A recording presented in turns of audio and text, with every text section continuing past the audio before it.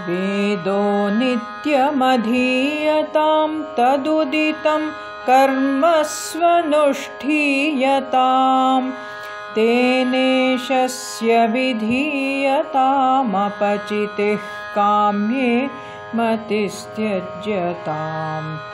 पापौघः परिधूयतां भवसुखे दोषोऽनुसन्धीयताम्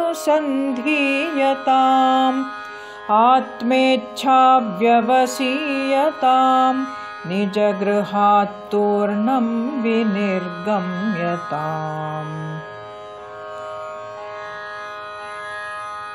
सङ्गसत्सु विधीयतां भगवतो भक्तिर्दृढाधीयतां शान्त्यादिः परिचीयतां दृढतरं कर्माशु सन्त्यज्यताम्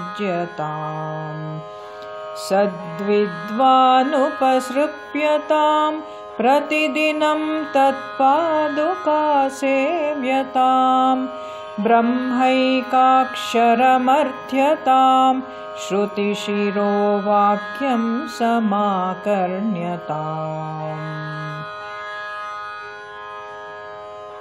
वाक्यार्थश्च विचार्यतां श्रुतिशिरः पक्षः समाश्रीयतां दुस्तर्कात् सुविरम्यतां श्रुतिमतस्तर्कोऽनुसन्धीयताम्।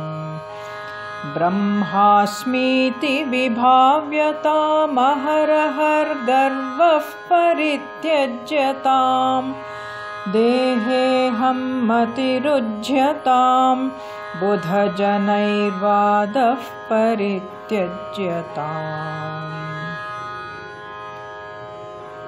क्षुद्व्याधिश्च चिकित्स्यतां प्रतिदिनं भिक्षौषधं भुज्यतां स्वाद्वन्नं न तु याच्यतां विधिवशात् प्राप्तेन सन्तुष्यताम्।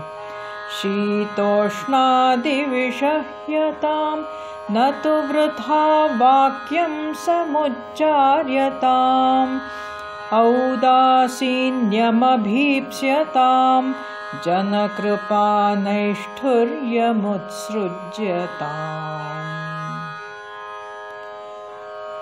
एकान्ते सुखमास्यतां परतरे चेतः समाधीयतां पूर्णात्मा सुसमीक्ष्यताम् जगदिदं तद्बाधितं दृश्यताम् प्राक्कर्मप्रविलाप्यतां चितिबलान्नाप्युत्तरैश्लिष्यतां प्रारब्धं त्विह भुज्यतामथ परब्रह्मात्मना स्थीयताम् प्रारब्धं त्विह भुज्यतामथ परब्रह्मात्मना स्थीयताम्